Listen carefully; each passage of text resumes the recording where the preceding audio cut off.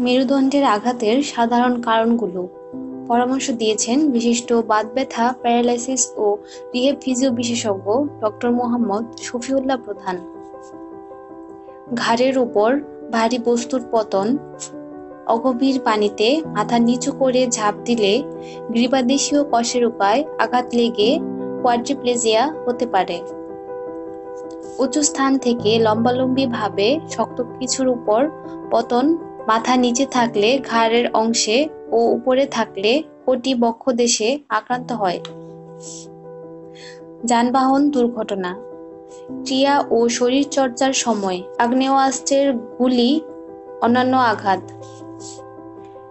আঘাতের ফলে পক্ষাঘাত সহ মেরুদণ্ডে ও কশেরুকায় সাধারণত রঞ্জন রশ্মিতে নিম্নলিখিত অবস্থা দেখা দিতে পারে। কিলক গোজ সাদৃশ, সঞ্চাপিত ভঙ্গন কশেরুকার দেহের বিদীর্ণ ভঙ্গন, অন্তকশেরুকার সন্ধির শিথিলতা ও স্বল্প স্থানচ্যুতি কশেরুকার স্থানচ্যুতি কশেরুকার ভঙ্গন ও স্থানচ্যুতি। আঘাতের ফলে চারটি অঙ্গের অবশ ও অসারতা ও নিম্নাঙ্গের অবশ ও অসারতা হয়ে থাকে। মেরুরজ্জ সম্পূর্ণ ছেদন হলে ছেদনের নিম্নাংশ স্থায়ীভাবে অবশ ও অসার হয়ে যায়। গ্রীবার কশেরোকা এক থেকে দুই অঞ্চলে মেরুরজ্জ ছেদন হলে রোগীর তাৎক্ষণিক মৃত্যু হতে পারে। গ্রীবার কশেরোকা চার অঞ্চলের আক্রান্তের ফলে মধ্যচ্ছেদা ও অন্তঃপিঞ্জরাস্থির মাংসপেশিগুলো আক্রান্ত হলে অচিরেই রোগীর মৃত্যু হয়।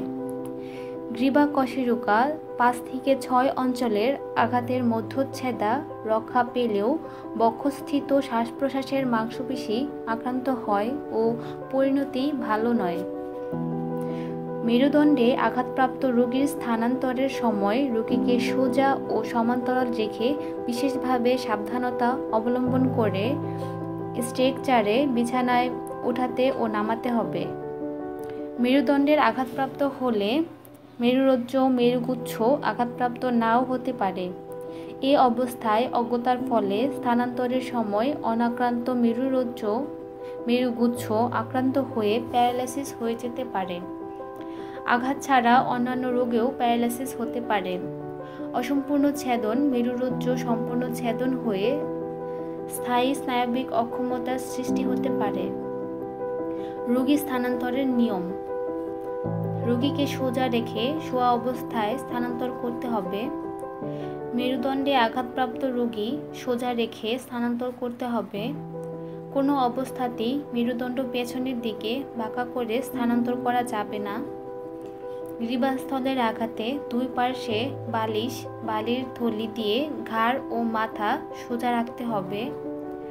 যথা ইচ্ছা স্থানান্তর করা চলবে না, সুনির্দিষ্ট পদ্ধতিতে করতে হবে। নিয়মিত স্বাস্থ্য বিষয়ক আপডেট ও পরামর্শ পেতে আমার ইউটিউব চ্যানেলটি সাবস্ক্রাইব করুন ও উপরের ডান পাশের বেল বাটনটি চাপুন এবং আপনাদের অন্যান্য সোশ্যাল মিডিয়ায় এই ভিডিওটি শেয়ার করুন।